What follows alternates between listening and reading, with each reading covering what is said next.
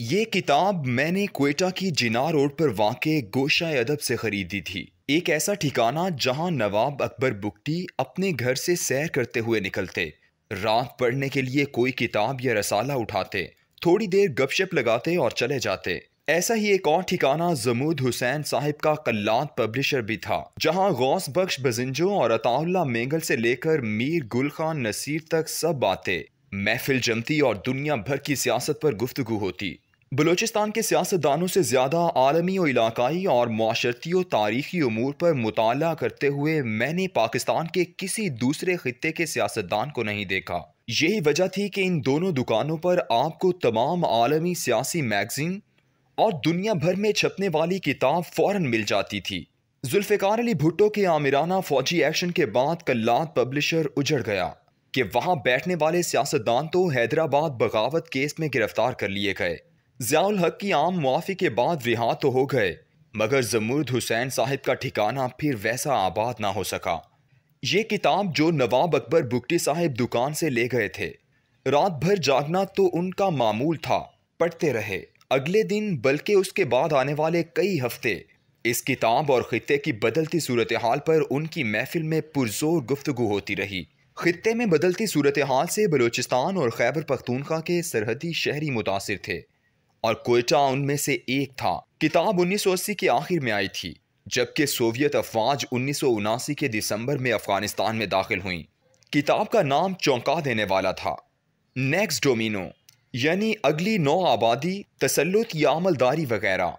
पाकिस्तान के हर अदबी और सियासी हलके में ये बहस शिद्दत इख्तियार कर चुकी थी कि अब सोवियत यूनियन की अगली मंजिल पाकिस्तान ही है या नहीं। सोवियत यूनियन के अफ़गानिस्तान में आने के असरात कोयटा जैसे सरहदी शहरों पर बहुत ज़्यादा मुरतब हुए थे। सिर्फ़ एक साल के अंदर अंदर कोयटा अफगान मुहाजरीन से ऐसे भरा भरा नज़र आने लगा कि हर कोई पुकारता, देखो कैसा कंधार बना दिया है। ये किताब नेटो अफवाज के वाहिद बरतानवी कमांडर सर वॉल्टर वॉकर ने तहरीर की थी। ये शख्स बरतानिया की तमाम बर्री, फजाई और बहरी अफवाज का चीफ रहा था। इसी किताब में सोवियत यूनियन की अफवाज के अफ़गानिस्तान में दाखिल होने को दरअसल कदीम शाही जार रूस के गर्म पानियों तक रसाई के ख्वाब का तसलसल कहा गया था। जार रूस के ज़माने से लेकर सोवियत इनकलाब तक रूस हमेशा एक ऐसी बंदरगाह से महरूम रहा है, जो तमाम मौसमों में काम करती हो। सोवियत यूनियन को गर्म पानियों वाली बंदरगाह तक पहुँचने के लिए तीन मुसलमान ममालिक से गुजरना या उन्हें काबू में करना ज़रूरी था। यानी अगर कराची या गवादर तक आना मकसूद हो तो दो ममालिक रास्ते में पड़ते हैं, अफ़गानिस्तान और पाकिस्तान। लेकिन अगर बंदर अब्बास या चाबहार तक आना हो तो एक ही मुल्क है, ईरान। यही वजह है कि 1917 के कैमुनिस्ट इनकलाब के बाद रूस ने अपना सबसे ज़्यादा असर रसूख ईरान, अफ़गानिस्तान और बलूचिस्तान के इलाके में बढ़ाया। 1920 में सोवियत नौ आबादी आज़रबाईजान के शहर बाकू में मुनदा कौमीतों की कॉन्फ्रेंस में बाकायदा बलोच कबाइल का वफ शरीक हुआ और बलोचिस्तान की आज़ादी और खुद मुख्तारी की तहरीक की बुनियाद रखी गई।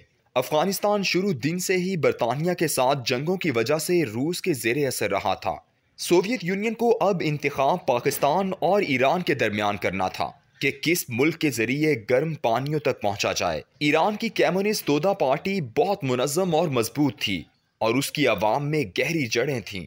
जुलाई उन्नीस सौ बावन में ईरान में मोहम्मद मुसद्दिक की हुकूमत उनकी अहम कोशिश थी, जिसे एक साल बाद 19 अगस्त उन्नीस सौ तिरपन को सीआईए ने एक बहुत बड़े मंसूबे के तहत ख़त्म कर दिया था।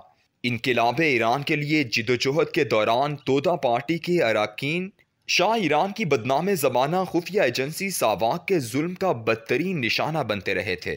1978 के अप्रैल से शुरू होने वाली शाह ईरान के खिलाफ तहरीक में भी उनकी कुर्बानियाँ बेशुमार थीं, लेकिन बिलाखिर इनकलाब की क़्यादत ईरानी उलमा के हाथ में चली गई और आयतुल्ला ख़मीनी एक इनकलाबी रहनुमा बनकर 11 फरवरी उन्नीस सौ उनासी को ईरान में इस्लामी इनकलाब लाने में कामयाब हो गए।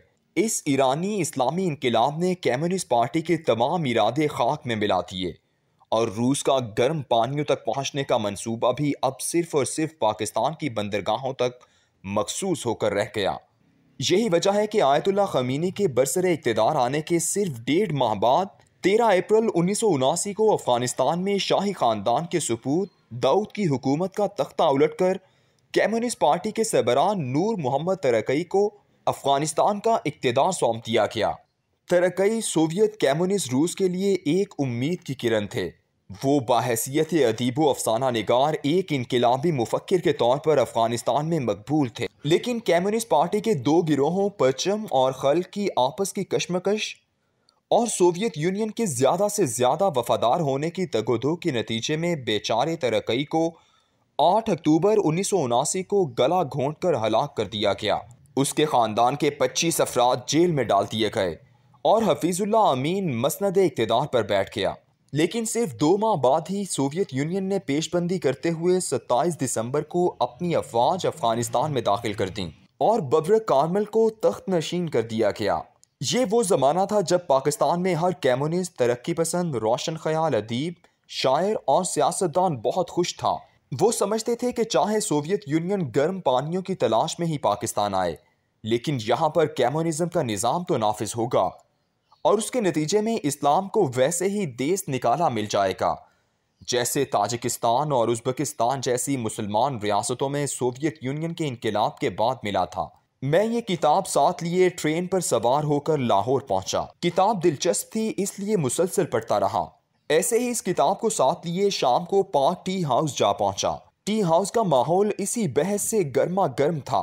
बादशाह खान ज़िंदा थे और उसकी पार्टी भी अफगानों के रूसी फौज के खिलाफ जिहाद के सख्त खिलाफ थी। इस पार्टी के एक रुकन हबीब जालिब का यूँ तो ठिकाना सामने चाइनीज़ लंच होम होता था, लेकिन वो कभी कभी लड़खड़ाते हुए पार्क टी हाउस भी आ जाते। उस दिन भी तशरीफ़ ले आए। मुझे देखकर बोले, बजिंजो साहिब को मेरा गिला पहुँचा देना। जेल का साथी हूँ, मेरा बेटा मर गया, उनका फ़ोन नहीं आया। फिर किताब पर जारी बहस में शामिल हो गए।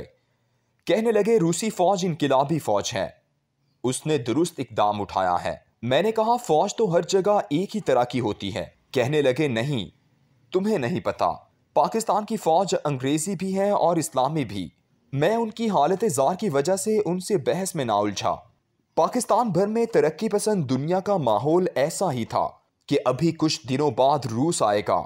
यहाँ दरानती और हथौड़े वाले परचम लहराएगा और आखिरकार मौलवी और इस्लाम अपने इस्लाम और ज़ियाउल हक समेत रुखसत हो जाएँगे। लेकिन अफगान अवाम ने अपनी कुर्बानियों से उनका ये ख्वाब चकना चूर कर दिया। खून तो अफगान कौम ने दिया, लेकिन सलामती की कहानी पाकिस्तान की तहरीर हुई। आज ठीक उनतालीस साल बाद वही सोवियत यूनियन है, लेकिन बदला हुआ है। प्यूटन ने ऐलान किया कि हम अब मुल्क तरक्की पसंद नहीं, बल्कि एक खुदा को मानने वाला ईसाई मुल्क हैं, जहाँ हर साल 1200 नए चर्च तामीर हो रहे हैं। हमारे मुल्क में हर मज़हब को मुकम्मल आज़ादी है, वही रूस है और वही ख्वाब। लेकिन मेरे अल्लाह ने गुजशत हफ़्ते गवादर की गर्म पानियों की बंदरगाह रूस को इस्तेमाल करने के लिए मुयसर करती है। तारीख एक और रंग से तहरीर हो गई है। फैसले सिर्फ़ और सिर्फ़ मेरा अल्लाह करता है।